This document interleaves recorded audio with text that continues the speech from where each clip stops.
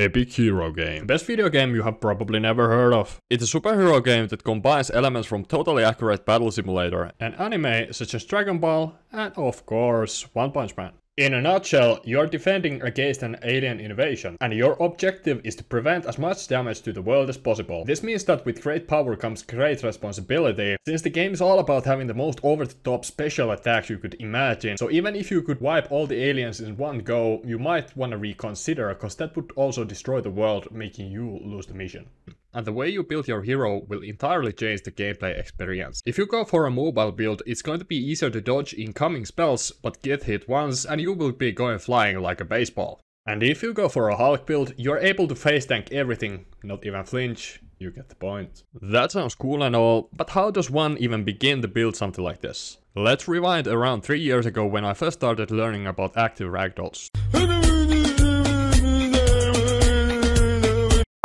An active ragdoll is the fusion of physics-driven skeleton and animation-driven skeleton, where the physics body attempts to follow the animated skeleton.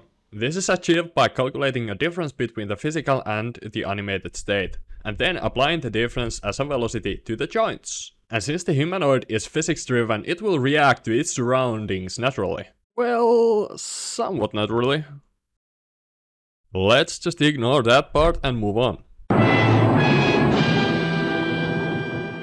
One thing anime does really well is environmental storytelling. You can tell how powerful a character is based on how much the environment is destroyed around the fight. This is so much cooler than just spawning a hit text that displays a number. I started with the thing that I already knew how to do. Destroy the models in Blender and then use the debris to create the effect. However, this would only work with 3D models and it didn't have the punch that I was going for. So it was clear that some kind of voxel magic was required. Everything in 3D graphics is a triangle, and if you duplicate it enough times, you have a terrain. And since it's made of individual triangles, to cause a dent in it, all you need to do is to move individual triangles around. That works, but to achieve more complex dents, I need to generate more geometry. And the hard part is to figure out where exactly those new triangles should go. Thankfully, smart people have invented the marching cubes algorithm for that. The idea is that you have points aka voxels in 3D space and you move a cube through them and check if any of the vertices of the cube collided with the points. And the combination of the collisions will be used to find the triangle configuration used to generate the mesh. Sebastian Lague has made a very in-depth explanation how it works. Make sure to check it out, link to the video in the description. Last part of the puzzle to create a game is a solid ability system. Both the player and the enemies would be using it, and since I'm mainly a programmer, this system would have a total authority how the character behaves. I'm talking about being able to define which exact frame the animation is playing at, how much should you move, hitboxes, knockbacks, and so on. The nice thing about this design is that the AI only needs to worry about when it should start and stop the ability, making programming the AI way simpler. And if I need to add a very specific attack for a boss, I would extend the ability that enables the attack itself. Now that there is a toolbox to build the game with, the next step is to actually make it fun to play. Here is a famous quote from Jaime Griesemer. In Halo 1, there was probably 30 seconds of fun that happened over and over again. So if you can get 30 seconds of fun, you can pretty much stretch that out to be an entire game. But if you don't nail that 30 seconds, you're not going to have a great game. So after a couple rounds of playtesting, thanks Harold, the main point of the feedback to me was that it was too difficult to deal with the smaller minions. The reason being, there is no animation to indicate that an attack is incoming, so the player has virtually no time to react to it. And that's where I started. And then it suddenly hit me. Now that there was a brief window to think, it's basically a minigame. What do you do now?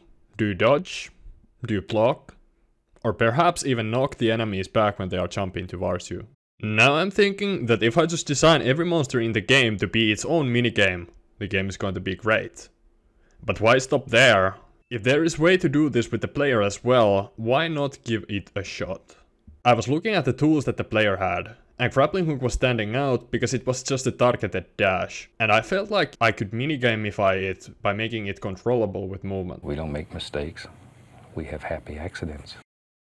To make the grappling hook controllable with movement, I needed to change it from raw translation to use forces. And when applying the force to the player, instead of using delta for the direction, I used the normalized direction and multiplied it by the speed, which caused the player to overshoot from the target, that is the arrow, creating this masterpiece. When I discovered this was a thing, no joke, I spent the next 30 minutes just flying around because how much fun it was. Now it was clear that I was on the right path.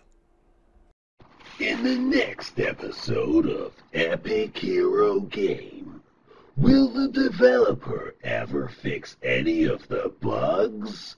Or will he just continue to add more and more features, ensuring that he adds more and more bugs and never subsequently finishes with any end date in sight?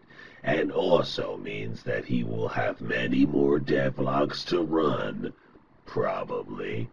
Find out in the next episode of Epic Hero Game, the devlog that you can catch on YouTube.